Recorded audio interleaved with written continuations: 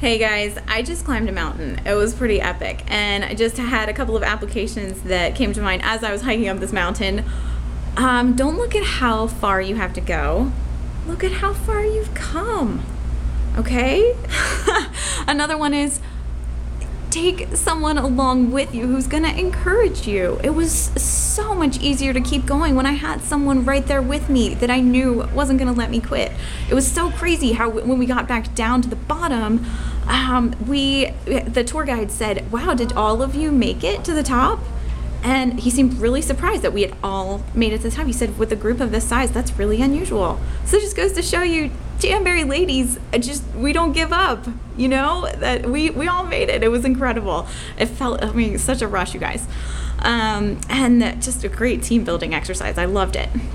Um, one more was some people got to the top faster than others. So that's just how it is. We have to not compare ourselves.